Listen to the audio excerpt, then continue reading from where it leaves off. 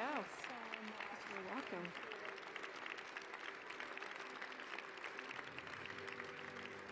Thank you.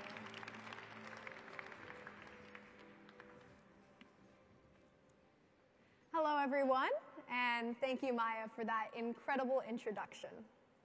You know, I never thought I'd be here on this stage being introduced by Maya Ajmera. I first met her, well, met is a strong term. It's probably more accurate to say fangirled from a distance at the 2015 Intel International Science and Engineering Fair.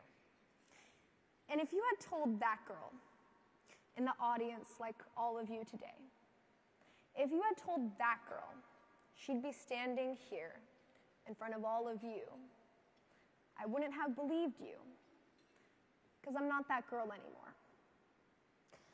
I have. Everyone here has changed so much. But during my freshman year, I read a story called Eleven about an 11 year old girl named Rachel.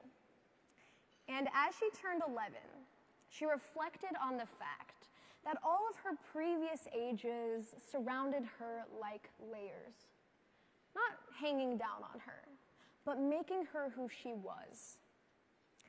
I, I am a girl made up of the layers before me. And I formed one of my most fundamental layers about five years ago when all of this started. I was on a plane myself, and I looked out the window, and I saw giant white streaks moving over the wings, and I was terrified. I thought for sure we were gonna die. Uh, turns out it was just condensation. I realized I had no idea how airplanes flew, and I was so interested in it. Science, science can come from anywhere, can come from anything or from anyone. And it's that inspiration that makes us who we are. I, I'm a sibling who used to build cardboard creations with my sister. I'm a passenger on a plane I once thought would crash, but ended up being perfectly normal. I'm a high schooler with a passion for engineering. I'm a Regeneron STS scholar. And I'm a Regeneron STS finalist.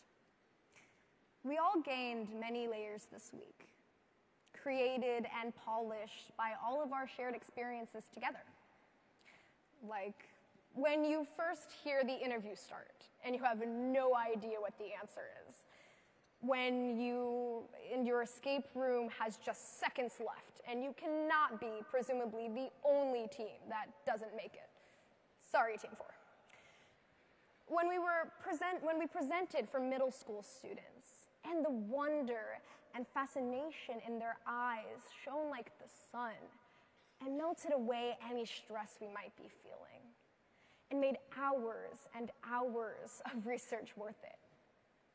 When we stood before congressmen and women, and we were seen as experts in our field, not as high school students, not as future innovators, but as innovators of today, because we are.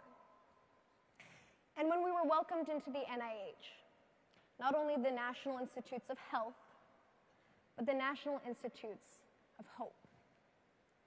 And I am gaining another layer now when I look out and see all the organizations and sponsors and hardworking people who made all of this possible. And I cannot express in words the gratitude each of us have for Regeneron and for the Society for Science and the Public. You made 40 young scientists' dreams come true. You made a little girl's dream come true because you made my dream come true. And I see the people who have been with me, with all of us, through it all the judges, the society staff, the incredible teachers who inspire us daily, and well, my parents, all of our parents. Now, I promised myself I wouldn't cry, but I know my mom is already shedding a tear somewhere. Because she, if anyone, sees me as that girl. that girl of layers. She knows who I am now and where I came from.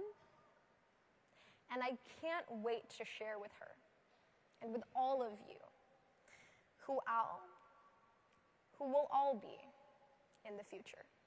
Thank you.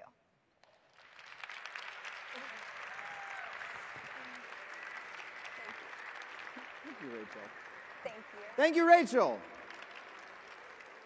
One more round of applause for her, please. Wasn't that wonderful?